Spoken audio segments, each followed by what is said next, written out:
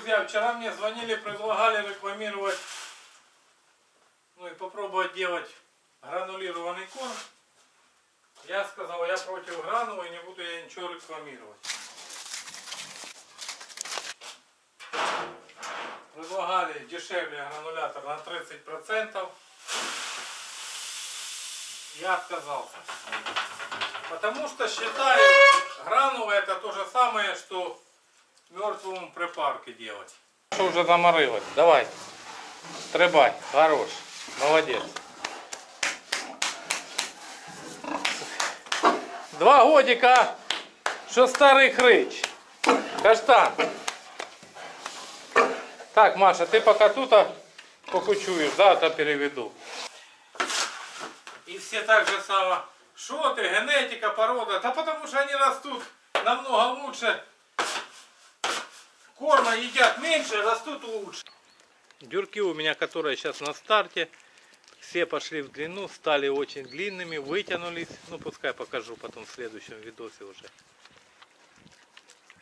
У меня уже двух забрали дюрков, осталось из восьми шесть. Эти шесть подыму еще месяцок и потом э, попродаю, кто позаказывал.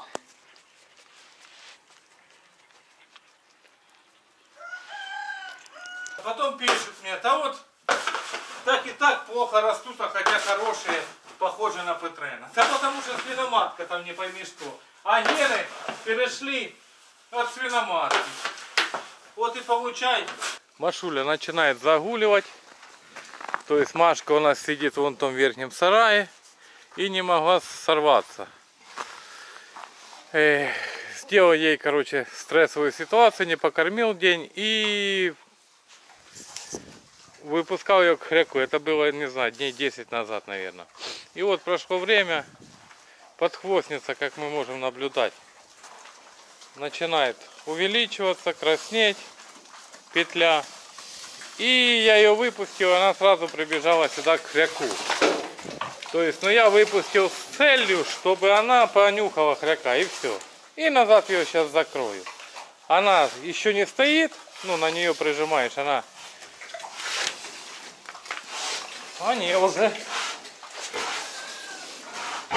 А уже стоит. Вот только что проверял, не стояла, бегала, верещала. Сейчас понюхала хряка и сразу встала. Сейчас будем пробовать запускать. Вы думаете, это просто порода? Хочу новый сарай взять хороших эфок. Хочу в будущем купить хорошего хряка, дорогого хряка. Это ж не просто так. Ты вкладываешь деньги, да, вроде бы расходы, а потом смотришь, оно на выходе совсем другое получается. И на, кор, на кормах на всем дешевле, потому что меньше употребления идет форма. Хорошая генетика, хороший залог здорового роста. Это моя однозначная, бесповоротная и окончательная точка зрения. Смотрим дальше. О, а только-только буквально минут 20 назад вот так прижимал, бегает, верещит, кричит, а сейчас уже все. И ушки. Сейчас будем запускать до, до кряка. Или кряка до маски. Или маску до кряка.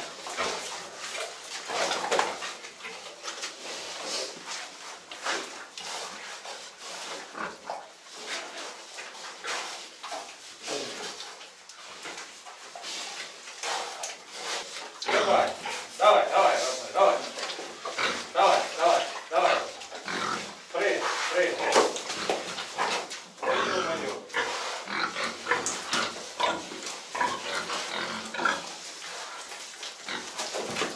Давай, красавчик. Вот.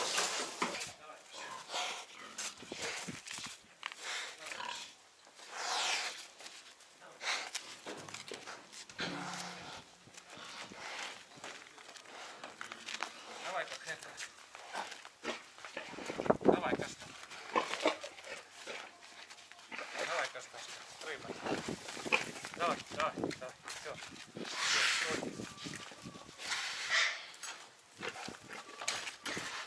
Все, давай.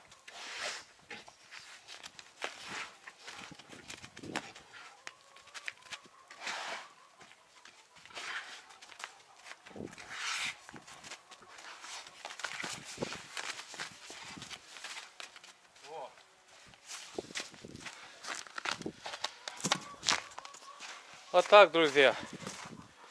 И работаем. Чуть-чуть подмох к каштану, так как уже мужчина в годах.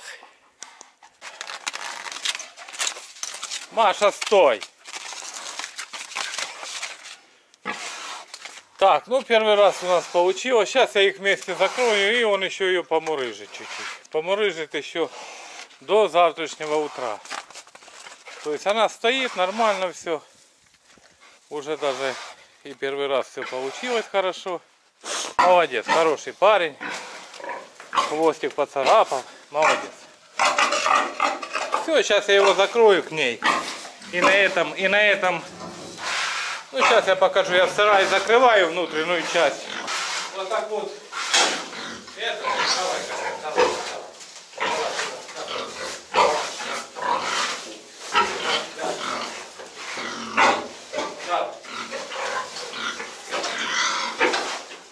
Я и говорил, повторный раз уже долго спускается.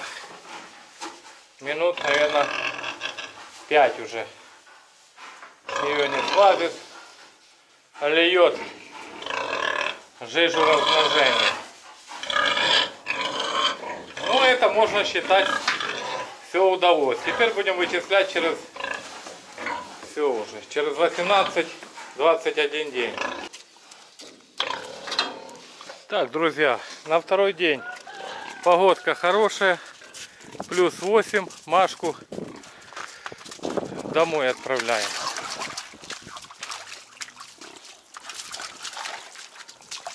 Пошли, Машуля, пошли, пошли, пошли. Маш, давай, Клуша, давай до, до дома уже, все.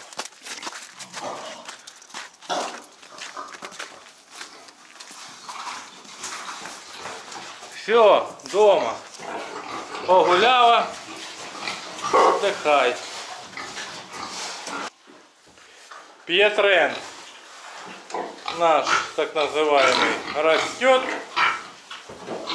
Клетка им уже маловато. Ну ничего. Пошли, пошли. Клубничка, пошли. Пошли, хорошая, пошли, пошли. Пошли. Тоже хорошо поправилась она и очень хорошо. То есть после опороса набралась сил и осталось ее только покрыть. Свиноматка, как показала себя очень хорошо. Вот это петрены это, этой свиноматки. Вот это свиноматка и мой хряк. Вот это петрены от нее. Юра мне привозил две свинки, клубнику и груша была. Ну, они две одинаковых. И две хорошо опоросилась, все нормально, но груша с ногой, задний сустав была проблема. И, короче, я ее пустил на мясо. Осталось только, только вот эта клубничка. Ну ничего, скоро поедем к Юре и возьмем еще там пару хороших пород. Давай. Давай. Давай. Давай.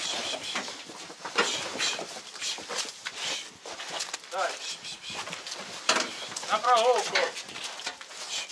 Давай.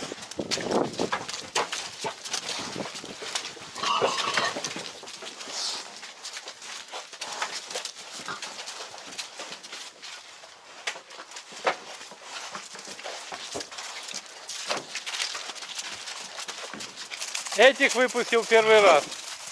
Посмотрю, как будет назад заходить.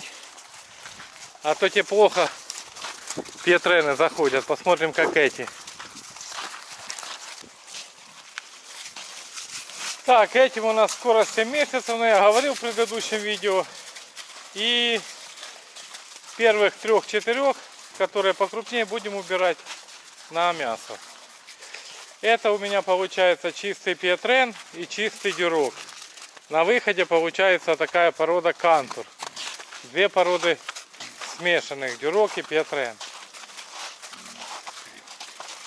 Чем хорош дюрок? Дюрок хорош тем, что он э, меньше, меньше поддается стрессовым ситуациям практически, ну в моем случае, не болеют, не боятся сквозняков, не боятся жары, не боятся холода.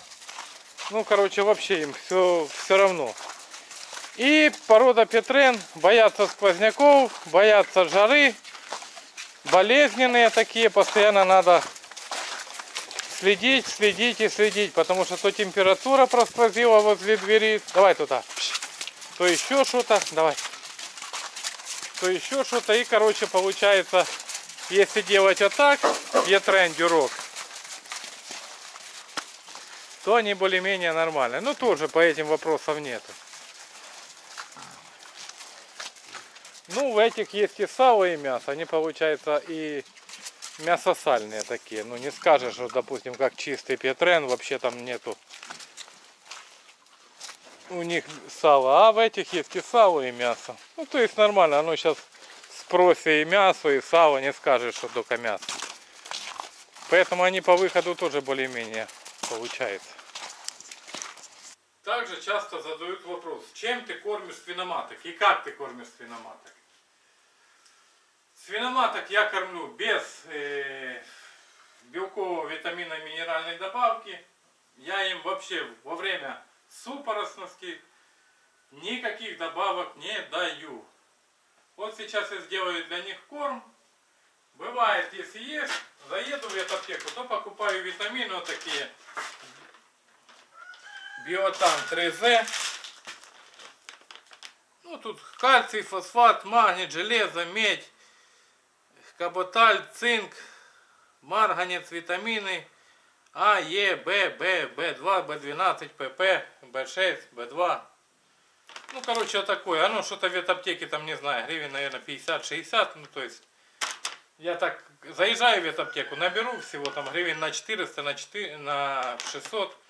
И этим самым, как бы, вот это, что я витамины добавляю. Бывает и то не всегда, но в основном добавляю. Стараюсь добавлять. Если есть наличие, добавляем. Сейчас я при вас делаю для свиноматок корм. Для тех, кто у меня на норме. У меня хряк и все свиноматки покрыты, не покрыты, все на норме. 2,5-3 килограмма в сутки. Ну, скорее всего, свиноматки у меня 3 килограмма, я им ковшик из горой. Два утром, два вечером. Хряка, хряк получается где-то 2,5 в сутки. Потому что хряк и так тяжелый, а ему поменьше. Желудок стянутый и нормально, ему хватает. Вот сейчас он одну свинью у меня покрыл хряк. Подержу буквально сейчас 4-5 дней, должна та загулять. Вторая. Покормлю ему, там подаю такое всякие там финдиклюшечки вкусные, потому что ему покрывать через неделю. А так опять будет сидеть на норме, когда все поросятся, потом их опять покрывать. А так. Вот я делаю корм. Свое ведро я знаю.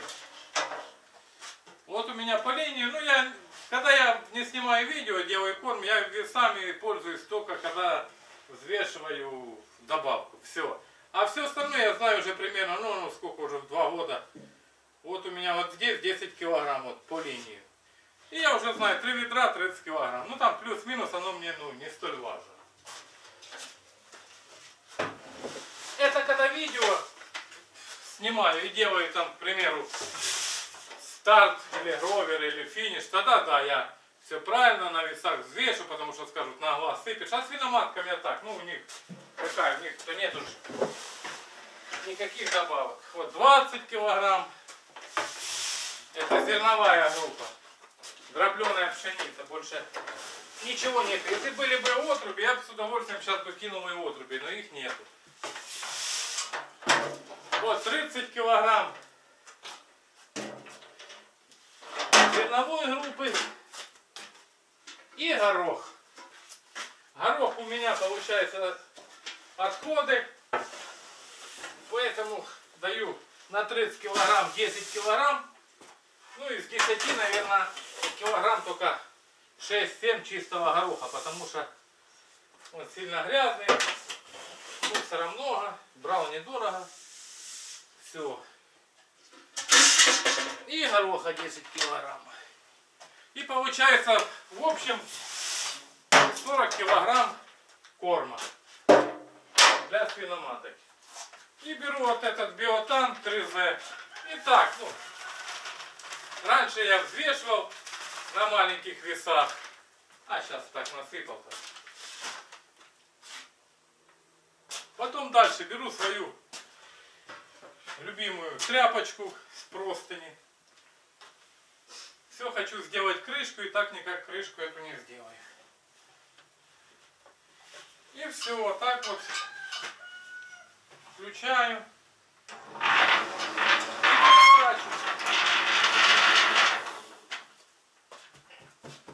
Свиноматки у меня сидят на норме до опороса. Вот примерно она на этом корме сидит 3 килограмма в сутки до опороса.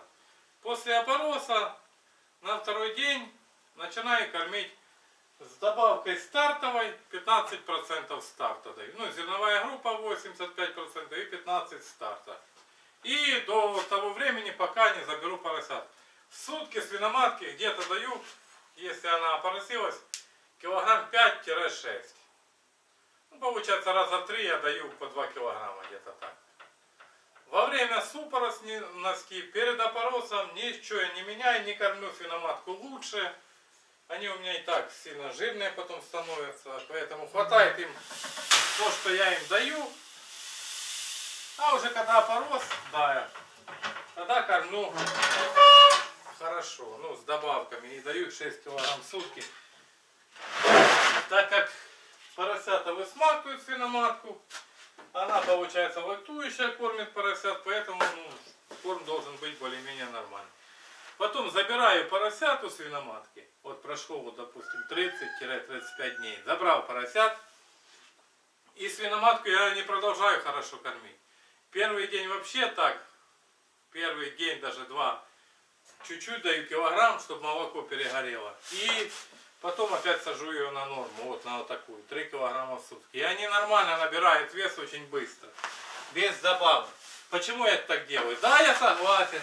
Там некоторые надо с добавками. Согласен, может быть и надо. Ну, я уже два года так кормлю, и меня устраивает, и поросята вы сами видите, какие. И в целях экономии. Зачем добавку, допустим, тратить на, ну я так считаю, на содержание свиноматок. Вот она покрыта, она и так. И у меня проблемы, вот допустим, такие свиноматки, как дюрки или машка, что мы ее покрыли.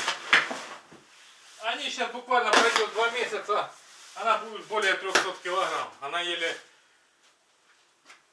потом ложится, еле встает, потому что сильно огромная. Если я буду еще хорошо кормить перед опоросом с добавками, тогда вообще она второй ряд свиток не, не, поды, не подымет, чтобы поросят кормить. Это у меня уже такое было. У дюрчихи она не могла перевернуть второй ряд, подвинуть, чтобы поросятам хватило два ряда сисек. Я ее сам перекормил. Поэтому свиноматок перекармливать нельзя. Это я так делаю. На других каналах там по-другому. Каждый делает как знает. Я делаю в целях экономии, чтобы меньше тратить добавки. Добавки у нас дорогие. Добавки дорогие. Поэтому я считаю, ну я увидел, что так хорошо, и поросята у меня хорошие, мощные. Поэтому менять ничего пока не планирую. Согласен, сто процентов кормить надо хорошо, ну кто-то кормит, ну я не кормлю, я делаю так и вообще идеально выходит. Вот готовый корм для свиноматок. Сейчас пойду покажу, как я даю. Я заношу. Вот тут у них специальная бочка.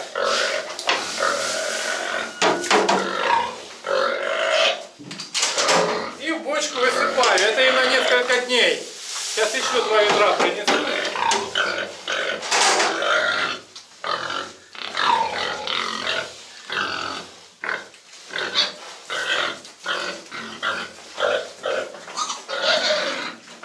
Вот, это утром я так даю и вечером.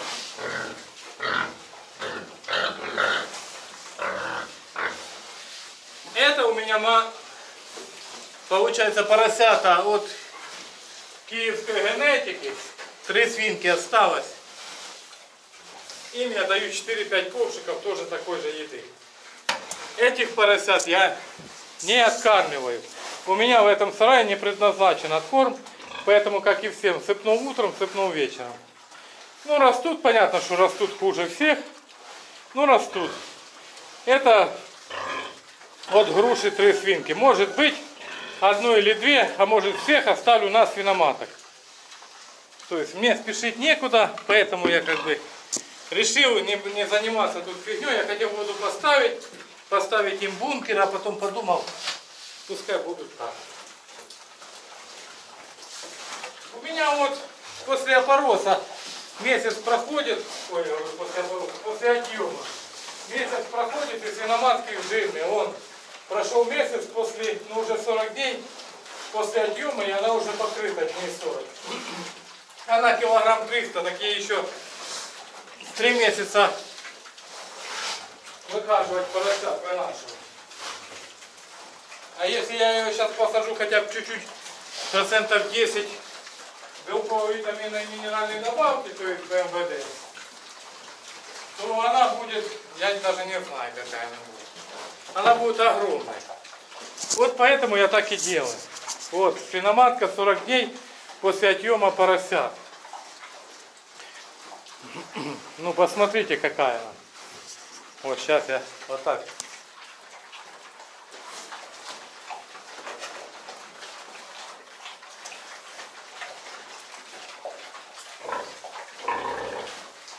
Вот. Это свиноматка после 40 дней после того, как забрали у нее поросят. Она покрыта, все нормально, мы ее на УЗИ просветили, все хорошо. Просто она уже огромная. Поэтому я и стараюсь не сильно их перекармливать. Вот именно вот эта свиноматка, после того, как после опороса не может перевернуть второй раз время, чтобы поросятам хватало всех сисек. От того, что я ее перекормил. Я и так им сейчас даю с горохом, это так балую, потому что горох есть. А горохов не было, просто без гороха давал бы так сильно. Это в этом году есть горох, поэтому они все у меня жируют. И то гороха осталось уже не сильно и много, ну хватит до новой уборки, а там будем уже по ситуации действовать. Это стартовый корм для поросят. Стартовый корм, тут все просто.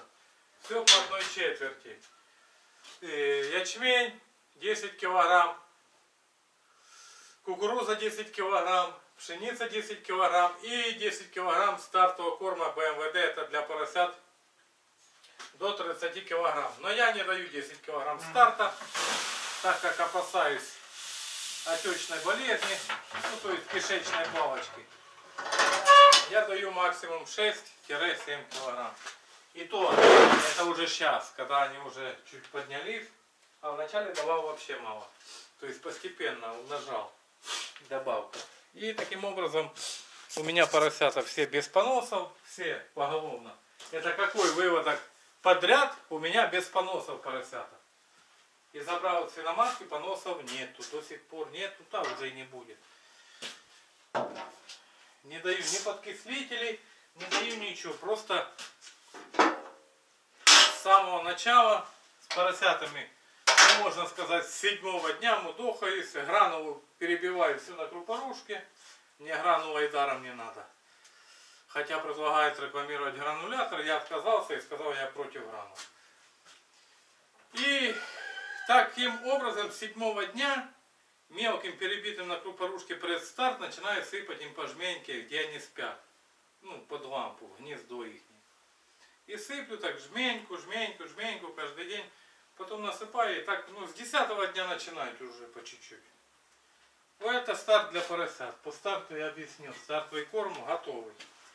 Проверяем, можно ли его давать поросятам. У меня еще один есть нахлебник на стартовый корм для поросят. Он голова торчит. Каждый день. Тоже на норме. Кружек.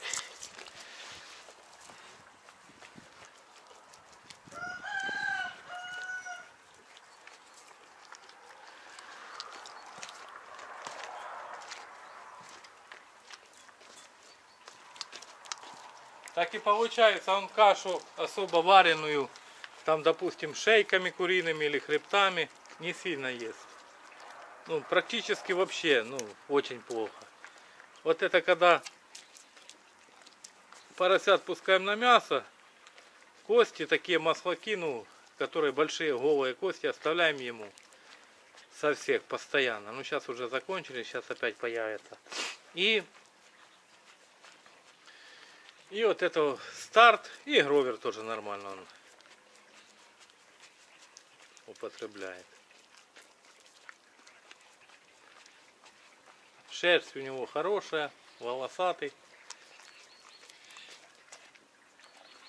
Ну, то есть по нем не скажешь, что он в чем-то нуждается, Боря, что ходит голодный. Это каждый день я ему ковшик даю. Ну, или старта, или гровера, что у меня тут насыпано в корыте есть.